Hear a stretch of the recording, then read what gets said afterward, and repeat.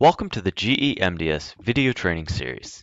In this video, I will show you the command to reset your device back to factory defaults. Using the web GUI, log in as admin and then click on System, Troubleshooting, Actions, and then click Recovery. The Recovery section will expand. Click on the drop-down for Snapshot and select Factory.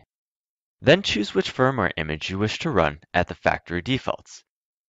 Choose the Current Active Image selection if you wish to remain running the current firmware you have loaded, and then click Roll Back to Selected. Shortly after, the system will go through the reboot process.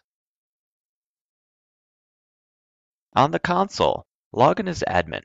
For this video, it's expected you have the latest released firmware loaded, 303. You can reset the unit to factory defaults with the following command. Request system recovery rollback snapshot factory. Shortly after this command, the system will go through the reboot process.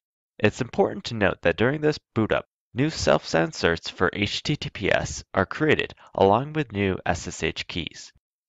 A login prompt will be displayed after boot up, and remember that all passwords have been reset to their defaults. I hope this video was helpful for you. For additional information, visit our website at www.gemds.com.